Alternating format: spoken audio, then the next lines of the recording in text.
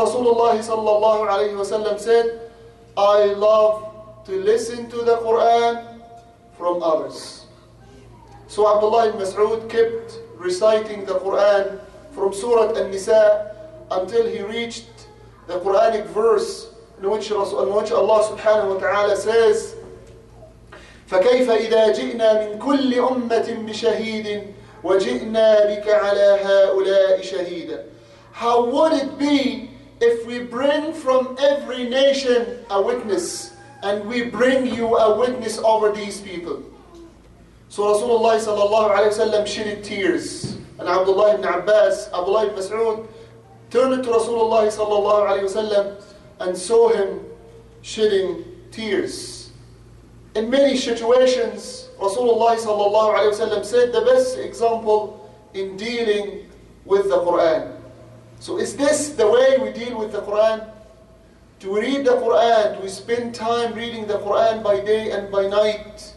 Do we spend time reading some explanations of the Quran, some tafsir, some tafsir ibn which is translated fully into English?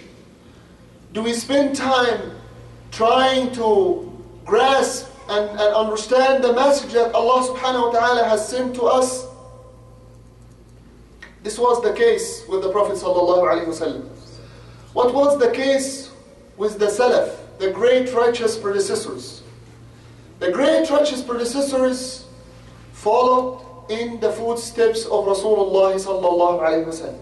Whatever Rasulullah wasallam would do, his Sahaba used to do, and also the, the successors used to do, and they set great examples. Anas ibn Malik, radiallahu anhu, may Allah be pleased with him, as related in Sahih of Ibn Hibban, he said that whenever a man of us memorized Surah Al-Baqarah and Surah Al Imran, we would hold him in high esteem. He would be a great man in our eyes. So they would respect anyone who would memorize the Quran. Also Sa'id ibn al-Musayyib. Sa'id ibn al-Musayyib is the great Imam of the successors. We have what we call uh, a hadith mursal. A hadith which the tabi'i narrates directly from the Prophet ﷺ without mentioning the Sahabi. The tabi'i or the successor didn't see the Prophet ﷺ and so the, the scholars of hadith would regard any hadith that doesn't have the Sahabi in its chain of transmitters as a defective hadith. But they said that all the hadith narrated by Sa'id ibn al-Musayyib all the way to the Prophet wasallam are sahih ones because of the status of Sa'id ibn al-Musayyib and his authenticity and his reliability in narrating the hadith. Sa'id ibn al-Musayyib used to teach Quran and Sunnah to the people. And he had a lot of students. And he was held in high respect. He was respected by all the people, including the caliphs, the princes, and everybody, because he was a bearer of the, the prophetic knowledge, the knowledge of the Prophet. A lot of people came to engage his daughter. Sa'id ibn Musayyib, he has a beautiful story. Ibn Musayyib used to teach knowledge and he, and he had a beautiful girl who was knowledgeable in the Quran and knowledgeable in the Sunnah and everybody would speak about her and everybody wished to marry that girl. So Al-Walid ibn Abdul Malik, Al-Walid ibn Abdul Malik ibn Marwan was the crown prince was, was, would, would be, he would be the caliph or the king after a while.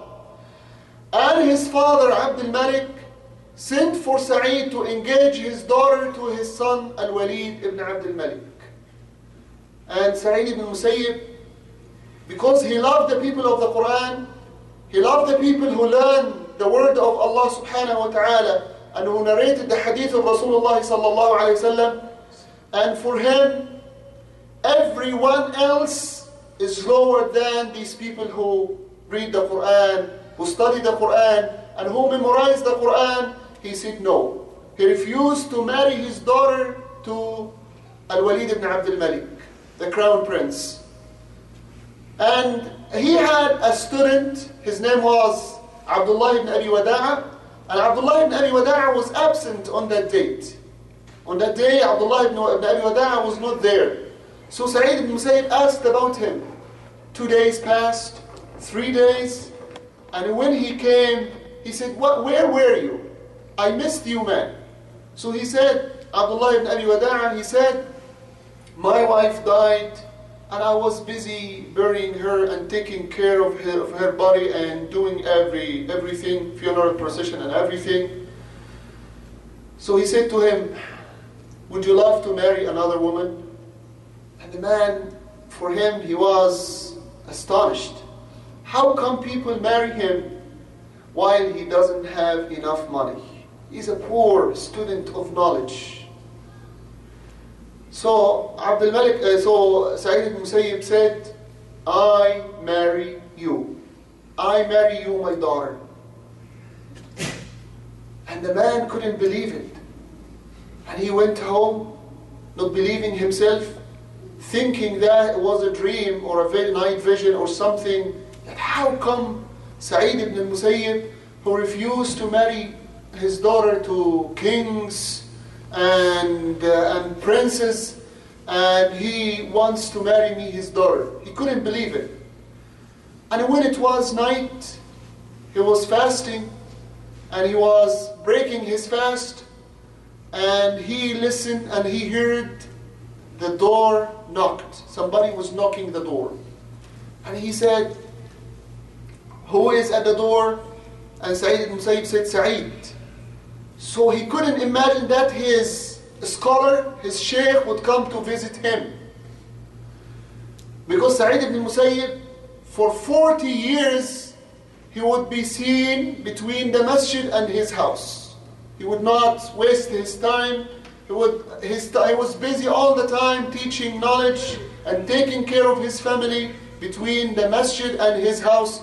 And he didn't miss Takbirat al-Ihram for, for years, for 40 years. Sa'id ibn Musayyib, may Allah be pleased with him and may Allah have mercy on him. He would never look at the back of a praying person because he was always in the front line. Because Rasulullah said, if people know what is the status of the adhan and what's the status of standing in the first line in prayer, people would draw a lots, or draw lots in order to take that position or take that place.